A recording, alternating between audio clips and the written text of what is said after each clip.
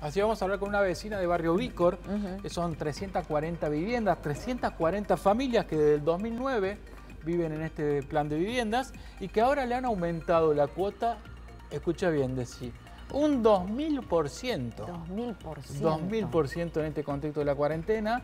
Y vamos a contactarnos con Dora Arch, que es una profesora de matemática, una vecina del barrio, que nos va a contar su problemática. ¿Cómo estás, Dora? Buen día. Hola, buen día. ¿Cómo están? Estamos en compañía de otra vecina, Roxana. Eh, formamos, eh, simplemente por el tema de pandemia, es que estamos las dos representando al barrio. Eh, bueno, queríamos comentarles lo que, los problemas que estamos teniendo con las viviendas nuestras. Este, este incremento en la cuota por la vivienda, Dora, decía Andrés que se, que se incrementó de una forma en 2000% este porcentual que se te aumentó la cuota, transcurrió en estos pocos meses de la cuarentena, ¿de dónde hasta dónde notaste ese, esa suba? Bueno, te comento más o menos a grandes rasgos. Las viviendas nos las entregaron en el 2009, a mediados del 2009, y mm, empezamos a pagar las viviendas al año, más o menos al año de estar, eh, de estar pagando, ya nos subieron, eh, era poca, poco dinero porque decían que subían los gastos administrativos.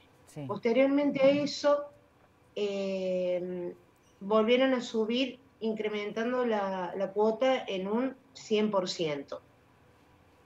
y ahora, generalmente pasa eso, algunos vecinos se atrasan, bloquean las cuentas a través del IPP, y una vez que bloquean las cuentas, las tienen bloqueadas durante una X cantidad de tiempo, haciéndolos incurrir a los vecinos en, más deuda, en más morosidad y pagando más intereses, obviamente. Y después desbloquean las cuentas, cobran las primeras cuotas esas más caras y después imponen la cuota esa, eh, la nueva cuota con el aumento a todo el resto de los vecinos, se hayan atrasado o no. Básicamente, en nueve años que estamos viviendo en el barrio, eh, ningún vecino tiene la cuota original.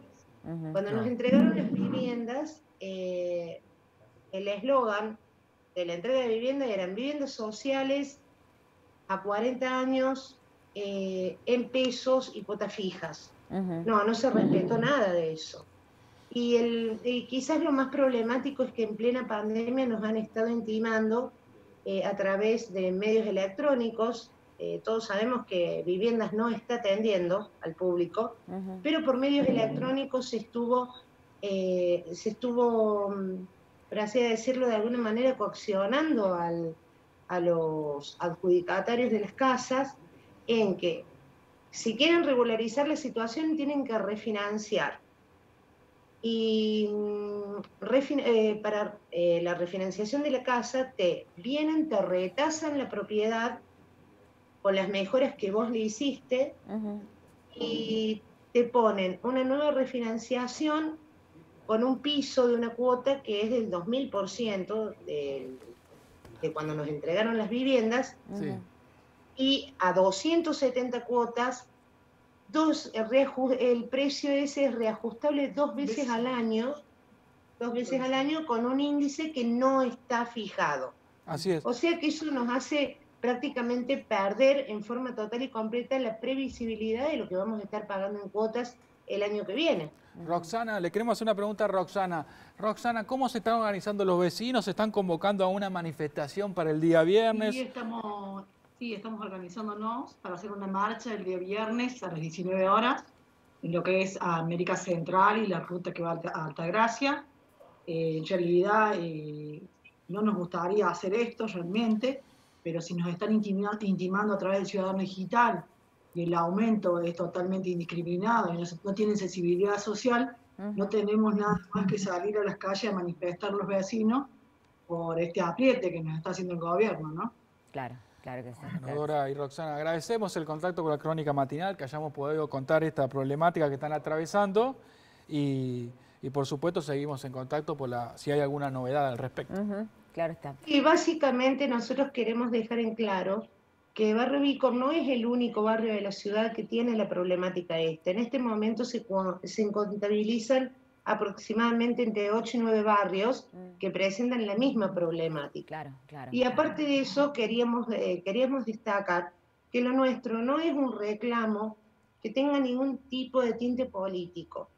nosotros lo que estamos pidiendo es que no vulneren eh, los derechos constitucionales que tenemos a la vivienda única y que por favor desbloqueen las cuentas y que nos permitan pagar, que no nos dejen que sigamos incurriendo en falta de pago bloqueándonos las cuentas. Buenísimo. Hecha la aclaración, este, Dora y Roxana, muchas gracias. Vamos a seguir el tema, seguramente ahora las abandonamos, pero eh, está planteado el reclamo y la visibilización del conflicto. ¿eh? Muchas gracias, buenos días. Buenos días, les agradecemos mucho. Hasta luego.